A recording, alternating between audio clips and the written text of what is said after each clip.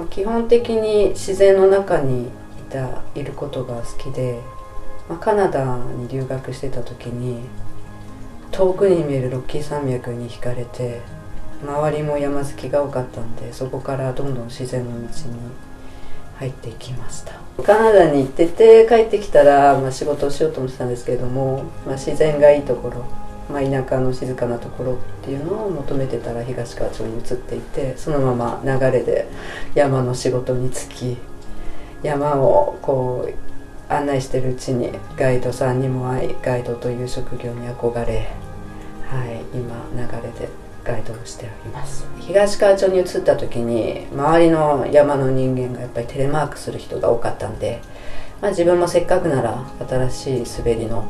道具を使いたいと思ってテレマークを始めました。で歩きも好きなんで、まあ、滑りだけじゃない山や自然の楽しみをゆっくり味わえるテレマークはすごい私には合ってるかなと思っていて山に行くようになってからもうほとんど、え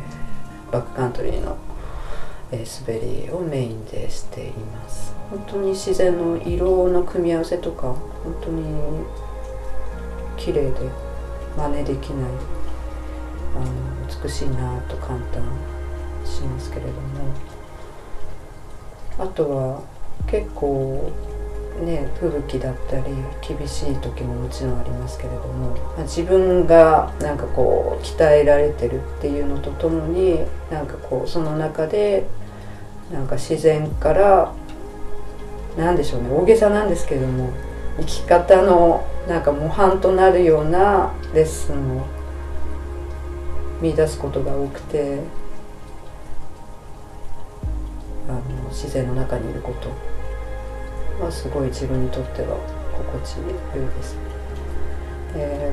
ー、まあ、今こう話してますけれども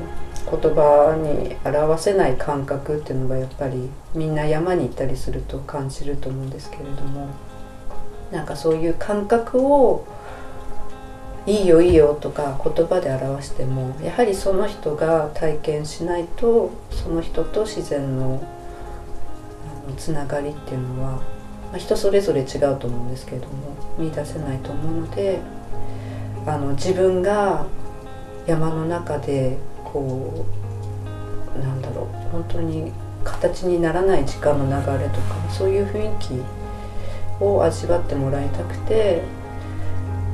そういう延長線で多分自分はガイドしてるのかなと思います。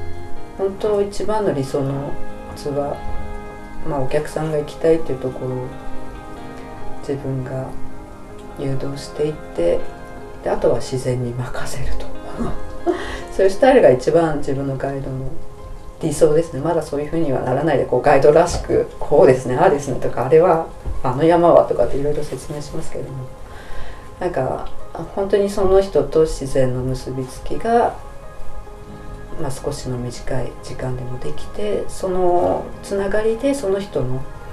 人生とか暮らしが少しでもプラスになってくれればいいなと思いながら。で自分もやはりそれを目標として ガイドしてるので。そういう暮らしを今しています。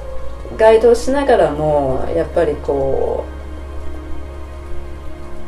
う自分の山もやはりやりたくて。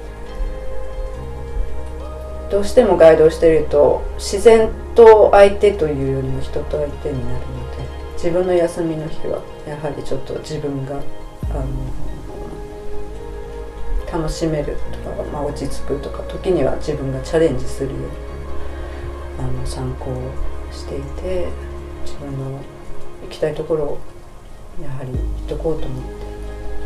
でずっと20代から海外の生活が長いので海外の憧れっていうのがあってまだ日本もね登ってない山もたくさんありますけれども人の文化とかあの暮らしも味わえる旅が好きなのでやはり海外の山最近はあのすごい関心があって今一番あの行きたい山が、まあ、ずっと2年間暮らしてたんですけどケニアの、まあ、ケニア山アフリカの第二の候補ですね。そこはもう暮らしの中でアフリカの暮らしの中でずっと窓から見えていてアフリカなのにこう雪の,、ね、あの景色があると岩岩の山なのですごい尖っていてあのかっこいい山なんですけれども。そこを1回登ってますけれども本当のピークはあのクライミングでしか行けないのでちょっと今それ滑りではないですけど、まあ、クライミングで1回チャレンジしてみたいなと思ってる山があり。ますその他もいろいろちょっとね高いところを目指して、はい、自分の体力とメンタルが持つ限り行ってみたいなと思って